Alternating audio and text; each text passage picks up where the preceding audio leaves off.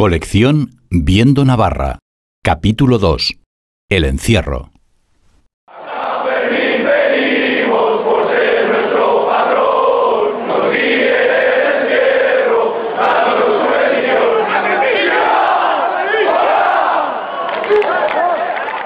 Un cántico resuena con voces mayormente masculinas, tres veces antes de las ocho, cada mañana del 7 al 14 de julio, junto a la hornacina situada a los pies de la cuesta de Santo Domingo.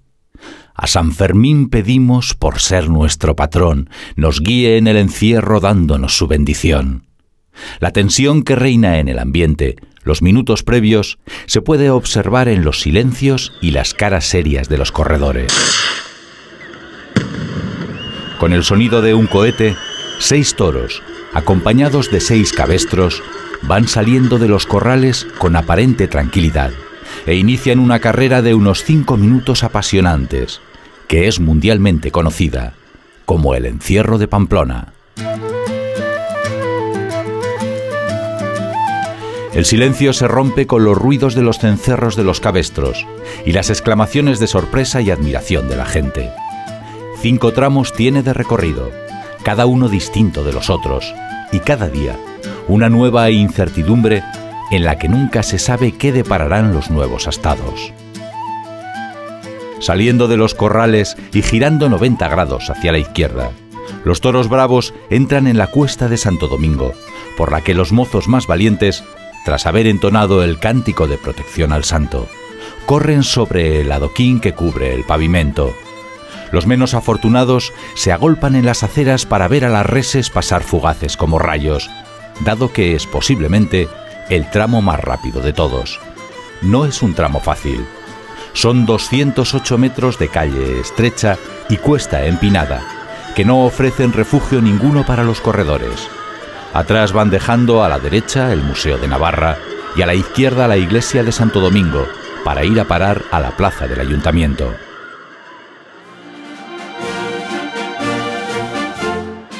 No es casualidad que este sea el inicio del encierro, que desde época medieval, con motivo de las ferias de ganado, se celebraban cada año en la ciudad, llegando hasta la Plaza del Castillo, que fue en su día coso taurino desde 1385 hasta 1844. Durante dicho traslado, muchos mozos cogieron afición de correr delante de las astas de los toros, para medir su valentía con el animal más bravo por excelencia, lo que progresivamente dio origen al encierro. Especial mención merece uno de los encierros de 1932, en el que hubieron de celebrarse dos encierros seguidos el mismo día por la poca afición a madrugar de algunos de los animales, que se negaban a salir a la hora prevista de los corrales de Santo Domingo. Dejando atrás la angosta cuesta de Santo Domingo y el rústico adoquín que cubre la calle, los corredores se abren paso para tomar un pequeño respiro en los 5 metros de anchura de la plaza del ayuntamiento, por la que el encierro discurre más lentamente. El edificio consistorial se erige a la izquierda y los primeros y más largos tramos de vallado aparecen a ambos lados con el fin de acotar la plaza y evitar que las reses escapen por las calles creando el pánico entre vecinos y visitantes.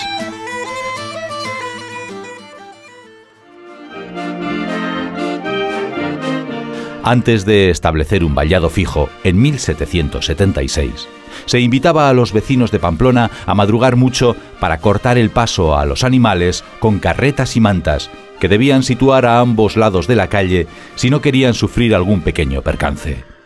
El doble vallado surgió tan solo en 1940, ya que el año anterior un astado llamado Liebrero con afán de escapista, decidió saltarse el recorrido y darse un paseo por la ciudad. Desde entonces, más de 13.000 piezas de madera de pino y abeto aseguran el recorrido en sus 849 metros. También la plaza del ayuntamiento suele ser escenario de algunas de las más famosas y mortales cogidas, como la de 1980 y 1995, a un mozo navarro y otro estadounidense, cuyos nombres ya quedarán por siempre ligados a la historia del encierro.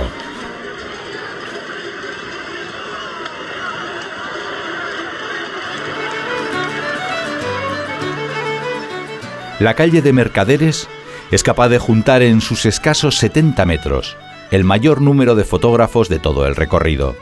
Y no solo por ser el tramo más luminoso, sino por su recta final, cuando los toros van a entrar en la calle de la estafeta, ya que se produce uno de los momentos más peligrosos de todos, la famosa curva de mercaderes. Los astados, empujados por la inercia, a menudo chocan violentamente contra un tablón de madera situado al final del tramo, que desvía a la manada 90 grados a la derecha. Durante las advertencias previas que se emiten por megafonía antes del comienzo, siempre se menciona este punto como momento de peligro, lo que no evita que casi todos los días haya algún incauto que quede aplastado o pisoteado por los astados. Este obstáculo habitualmente ralentiza la marcha del encierro. Quien no debió de chocar contra la curva fue el toro huraño, que tiene el récord por ser el animal más rápido en acabar la carrera, con tan solo un minuto y 45 segundos. En el otro extremo tenemos a un Miura, que en 1959 tuvo 30 minutos en vilo a todos los corredores, negándose a entrar en la plaza, hasta que un pequeño perro pastor llamado Ortega se ganó la admiración de todos los presentes, obligando al animal a entrar en el coso. Con el giro de 90 grados a la derecha, los corredores y la manada entran en el tramo más largo. La estafeta de Pamplona son 300 metros de calle estrecha y sombría, llena de casas de alturas desiguales, en la que una pendiente suave sube y donde el único resguardo se ofrece a los participantes en los umbrales de las puertas de las casas. Cada día, entre 1.500 y 4.000 mozos se unen a los seis toros para participar en una de las tradiciones más seguidas del mundo. Llevan un periódico en mano para despistar a las bestias en momentos de peligro y visten en su mayoría el atuendo sanferminero, esto es, camisa y pantalón blancos con faja y pañuelos de color rojo sangre. Muchos de los corredores suelen engalanarse con blusones de diversos colores, imitando a aquellos que en su día llevara el gremio de carniceros, que corrían el encierro antes de ir a abrir sus negocios allá por los años 50 y 60. El 90% de los heridos no lo son por asta de toro, como pudiera suponerse, sino por codazos, pisotones y empujones varios. Las carreras delante de los cuernos de los toros duran apenas 10 segundos de infarto, en la que los corredores demuestran su valentía. Los relevos de mozos se producen cada 50 metros aproximadamente y es muy difícil correr durante un tramo entero. Los únicos a los que está reservado este privilegio son los pastores, que se apresuran detrás de la manada con sus varas de fresno.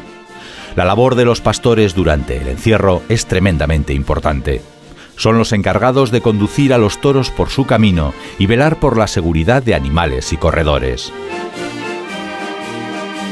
Antaño, los encierros no eran tal y como los conocemos ahora, puesto que además de haber desviado el recorrido a la calle de la estafeta, lo habitual hasta bien entrado el siglo XVIII era que se sacasen 15 toros cada mañana, que luego se lidiaban en la plaza del castillo en una corrida interminable que iniciaba a las 2 del mediodía. Delante de todos los toros iba a caballo la figura del abanderado, encargado de abrir la marcha con su clarín. Las gentes de Pamplona, al verlo, ya sabían que detrás de él venían los toros y salían a recibirlos con picas y varas. A esta irrupción de los toros en las calles de la ciudad se le llamaba comúnmente la entrada y no el encierro. Otra costumbre que ha ido cambiando con el paso de los años ha sido la hora de comienzo del encierro, y es que se ve que los mozos cada día se han vuelto menos madrugadores. Durante el año 1924, los encierros pasaron de correrse a las 6 de la mañana a comenzar una hora más tarde, cuando el reloj de San Cernin marcaba las 7. Sin embargo, en el año 1974, se acordó que los encierros serían a las 8 de la mañana. Quién sabe si para gozar de más luz en las mañanas sanfermineras.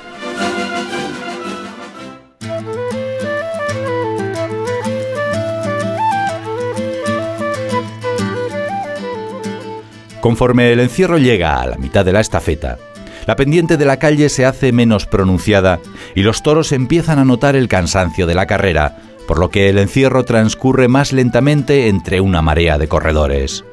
La gente se agolpa en los balcones, siempre abarrotados de curiosos, entusiastas y videoaficionados para ver pasar la manada. Los toros van más separados unos de otros, y esto da lugar a carreras algo más largas delante de las astas. En Pamplona siempre se corre delante del toro, nunca detrás ni a los lados, ni tampoco rozando al toro, solo delante, para medir la fuerza y rapidez de quien corre con la del animal.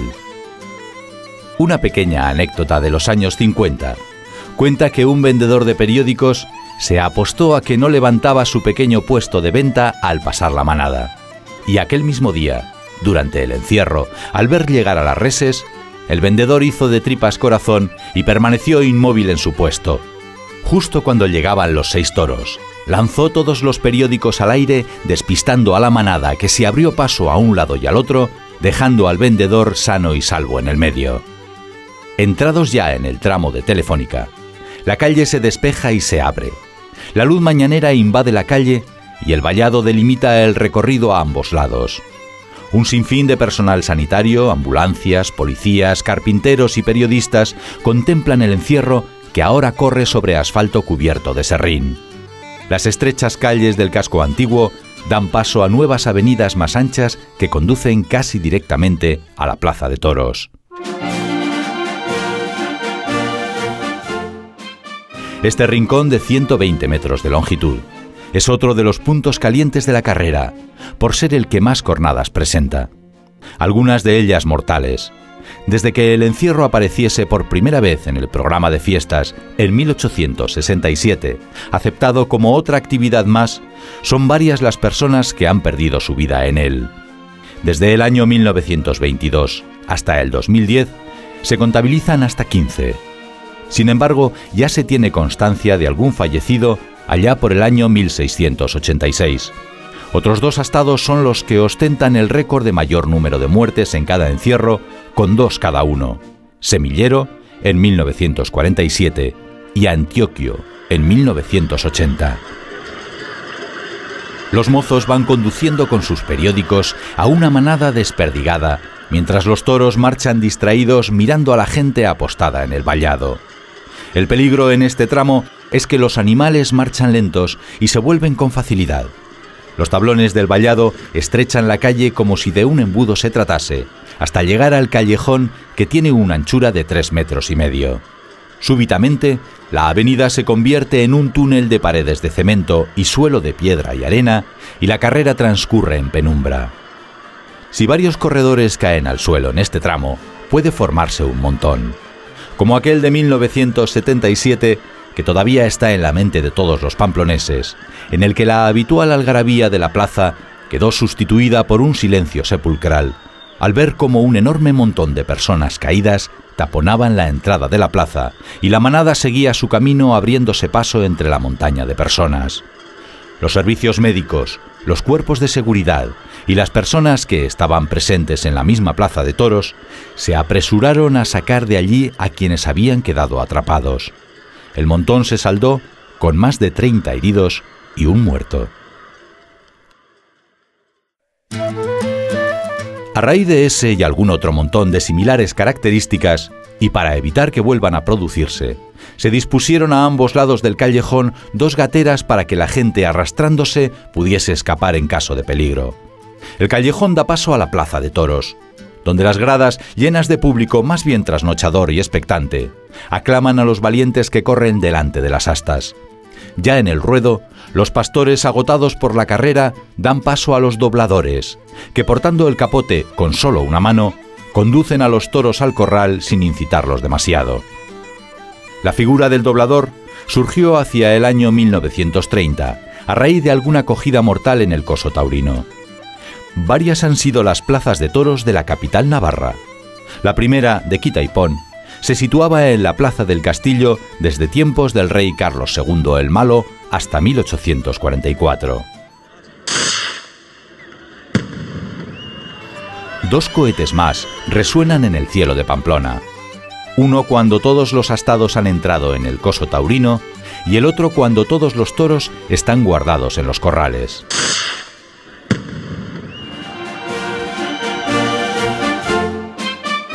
Así, este espectáculo, que es seguido por más de un millón de personas en todo el mundo, acaba con el simple estallido de un cohete, tal y como empezó.